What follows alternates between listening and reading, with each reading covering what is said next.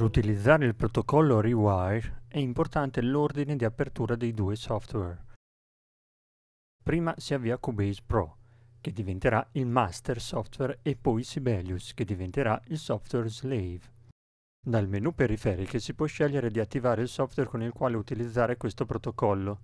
I software visibili saranno quelli installati nel sistema. Scegliamo Sibelius e una finestra ci mostra i canali disponibili per il trasferimento audio. Attiviamoli e compariranno nell'elenco delle tracce. Cliccando nella colonna Visualizza come possiamo scrivere il nome che preferiamo visualizzare.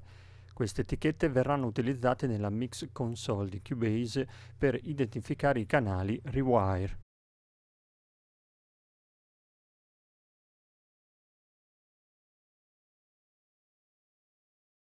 Ora avviamo Sibelius. Se l'avvio dei due software avverrà in modo opposto, allora non ci sarà sincronizzazione, ma i due software potranno essere utilizzati separatamente, ma con eventuali problemi di condivisione con la scheda audio. La sincronizzazione avviene automaticamente tra i due software e il consumo di risorse del sistema è molto inferiore rispetto all'impiego di due software in esecuzione separatamente. Per uscire da una sessione Rewire è necessario uscire prima dal software slave, in questo caso Sibelius, e poi da quello master.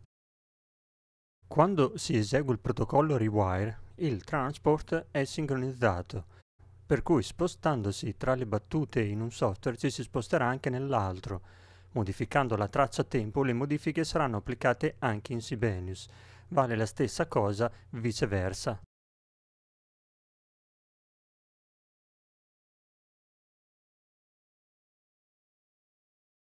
Questa sincronizzazione si rivela molto utile quando si scrive musica sincronizzata ad immagini, ma non è l'unico utilizzo.